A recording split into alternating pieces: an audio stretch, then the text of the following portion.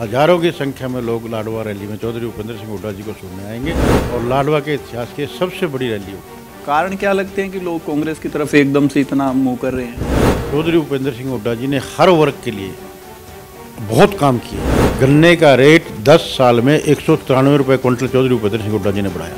कांग्रेस के टाइम में हर गाँव में कहीं पचास मकान कहीं अस्सी मकान कहीं सौ मकान हर गाँव में बने।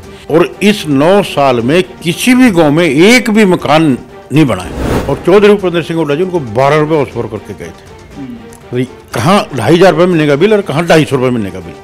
तो कहती है कि ये सारी समस्याएँ हमें कांग्रेस दे के गई थी हमने तो सुधार दिया है सारा कुछ। बीजेपी जो मर्ज़ी कहे लोग इस बहकावे में नहीं आते। एक काम इन्होंने बहुत सल्ली का बीजेपी वालों ने किया है। भाई किसी भी वर्ग को छोटे नहीं सब पे लठ बरसाने का काम ज़रूर लगता है लोकसभा और विधानसभा में इनका असर रहेगा। काम करने इतने मुश्किल हो गए गाँव में पंचायतों को कर्मचारियों को भी। इसमें कर्मचारी भी दुखी हैं। एक भी काम जो सरकार ग्रांट दे रही है कर रही है, कोई भी काम पूरा नहीं हो रहा है, सब अधूरे पड़े हैं। लोकसभा और विधानसभा चुनाव को देखते हुए कांग्रेस ने अपनी स्पीड बढ़ा दी है और स्पीड बढ़ाई कुछ इस प्रकार से कि पूरे महीने में, अब जो जनवरी का महीना रहेगा, उस पूरे महीने में लगभग सत्रह से अठारह रैलियाँ कांग्रेस करने वाली है। और जगह जगह वो रैलियाँ करके दिसंबर माह से ये जो शुरू हुआ है, और बम्पर रैलियाँ अब कांग्रेस के द्वारा की जा रही हैं। कल सफ़ीदो थी तो अब थर्टी फ़र्स्ट को लाडवा में तैयारी की जा रही है। लाडवा से विधायक है मेवा सिंह मेरे साथ मौजूद है, जो कि इस रैली को लेकर के बड़े जुटे हुए हैं।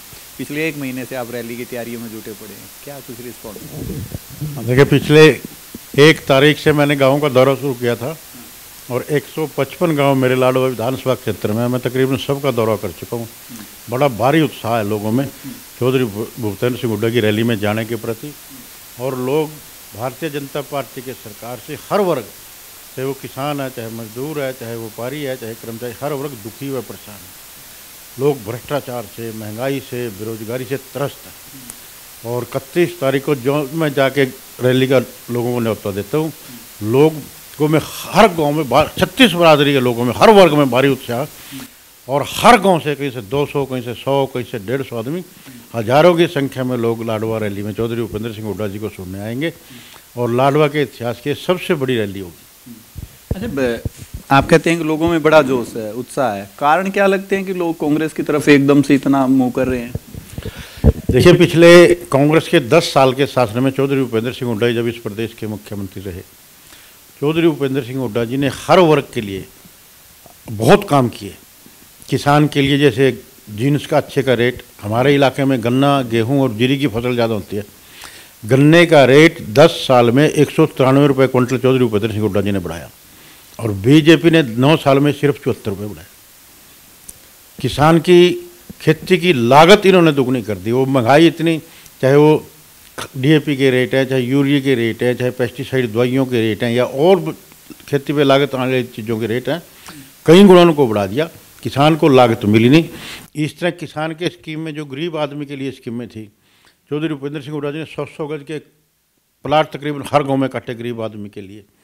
इंदिरा आवास योजना में कांग्रेस के टाइम में हर गाँव में कहीं पचास मकान के अस्सी मकान के सौ मकान हर गाँव में बने। और इस नौ साल में किसी भी गाँव में एक भी मकान नहीं बनाए मैंने हर गाँव में जाके पूछा भी आपके गाँव में इस नौ साल में किसी गरीब आदमी कोई मकान बनेगा? मेरे को एक भी आदमी ऐसा नहीं मिला, कहीं किसी भी गाँव में एक भी मकान हो। इसलिए हर वर्ग दुखी और परेशान है। इसलिए एकदम लोग कांग्रेस की तरफ़, चौधरी भूपेंद्र सिंह हुड्डा के कामों को देखते हुए पिछले राज्य के।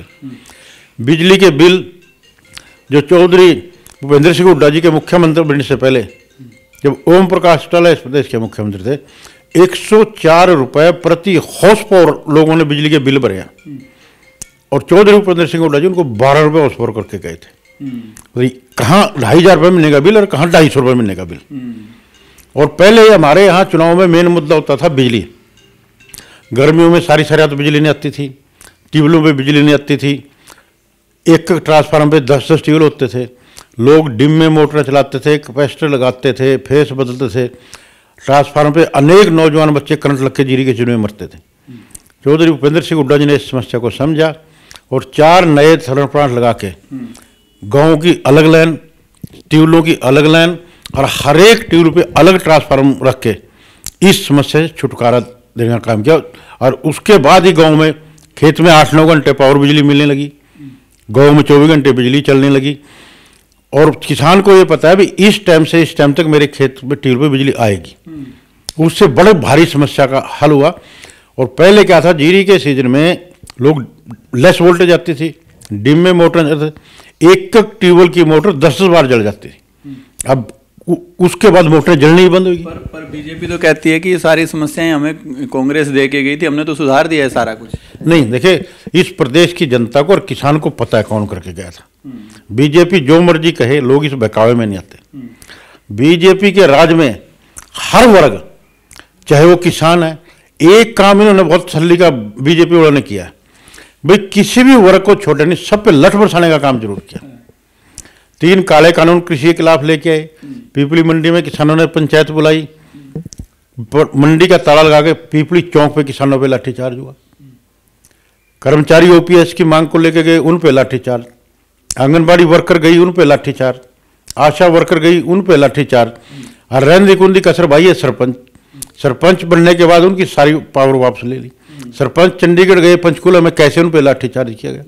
महिला सरपंचों को भी लठों से घेर के पीटा गया। आज काम करने में इतनी परेशानियाँ गाँव में आ रही है टेंडर प्रक्रिया में। दो दो साल के पैसे आए पड़े हैं ग्रांटों के आज तक काम नहीं लग रहे हैं। आप जितने सारे दुख बता रहे हैं लोगों के लगता है लोकसभा और विधानसभा में इनका असर रहेगा? बिल्कुल असर रहेगा। लोग भारतीय जनता पार्टी का सफाया करेंगे। काम करने इतने मुश्किल हो गए गाँव में पंचायतों को कर्मचारियों को भी। इसमें कर्मचारी भी दुखी हैं। अब भी पंचायती राज में कोई ग्रांट आएगी कोई एस्टिमेट बन के गया दस लाख का। दस लाख की ग्रांट आएगी। अठारह परसेंट तो उसका वीडियो उसमें जी जीएसटी काट लेते हैं लग पहले। एक लाख अस्सी हज़ार रुपये। दस लाख में तो एक अस्सी तो हो गया। बच गया कितना? काम कैसे पूरे होंगे?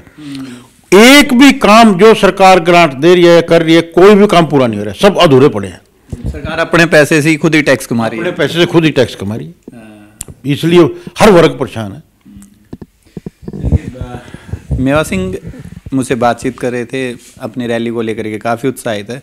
सरकार से बड़े नाराज़ है। सरकार पे बड़े कटाक्ष करें। खैर, आप लोगों को क्या लगता है? मेवा सिंह जिस प्रकार से सरकार पर आक्रामक हैं, वो कितना सही, कितना गलत है? ये आप कमेंट करके बता सकते हैं। कैमरे से दीपक के साथ सत्यदेव शर्मा। सत्य खबर, सत्य, सटीक, बेबाक।